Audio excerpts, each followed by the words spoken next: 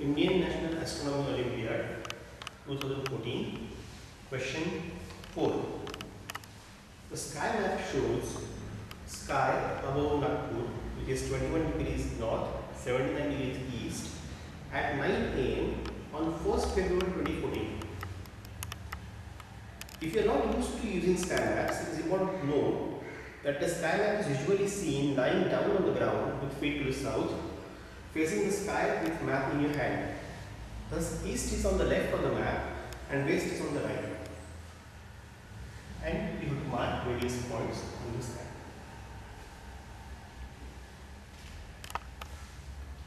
So, as described in the map, we first know the directions. This is your north, this is your south, this is your west, and this is your east. See, the celestial equator is just a projection of Earth's equator in the sky. It will be locus of points which are equidistant from north and the south pole. Draw the equator on the map approximately and mark it as Q. As it is about 90 degrees away from pole, it has to pass through the eastern point, it has to pass through the western point and it should be somewhere here on the as it should be 90 degrees away from the pole. So connecting these three in a smooth curve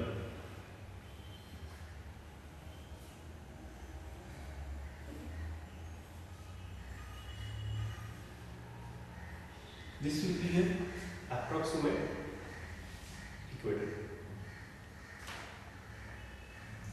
D. The ecliptic is imaginary earthly path of the sun in the sky.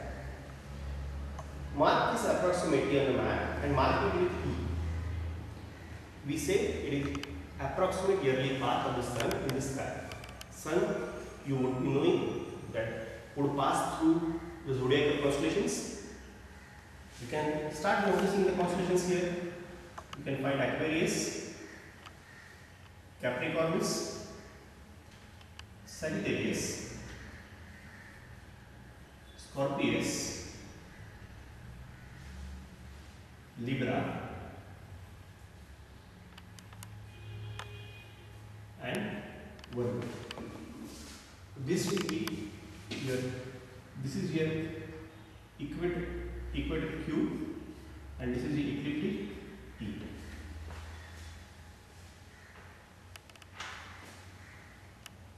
E.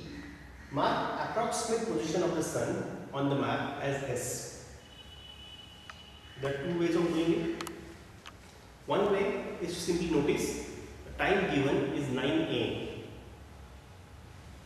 If we say sun approximately rises between sometimes 6 and 7 am and it, it should cross the meridian at around noon. So we would expect it somewhere halfway between rising and meridian. So somewhere here. Or you can remember that the vernal equinox point is in Pisces. We are talking about 1st February, which is about two months before that. So it is two zodiacal constellations before that. Again, we reach Capricornus.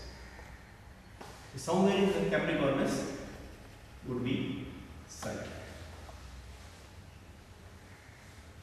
F. Yesterday was a new moon day. Mark the current position of the moon on the map as N. Now, yesterday was new moon day. That means yesterday, sun and moon were coinciding.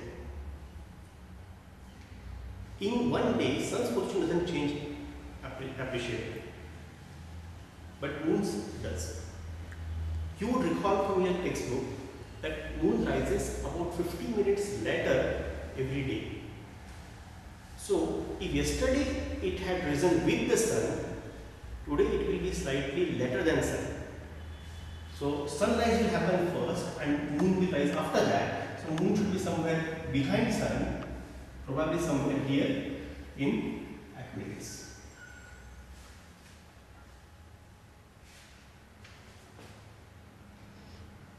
Which star was very close to zenith at 6 am today. Mark it on the map as N.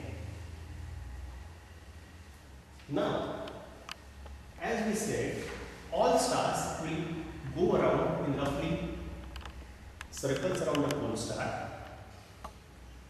So, and the star which was at close to zenith, zenith is the central point here. The star which at zenith at 6 am, that is 3 hours before this, would be halfway to the setting at this time, at 9 am. So, if we say that all the circles are going around this way, around the pole star, so halfway between zenith and setting, you see a star here, which is a reasonable candidate for being marked as N. Last, draw a line across the sky showing horizon line as at 7 am today and mark it as H. This one you have to think carefully. We say that this is the region of never setting stars. So even at 7 am, two hours before, some of these stars will be at the horizon.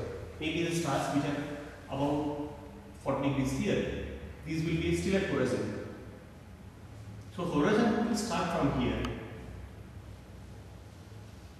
Will go this way.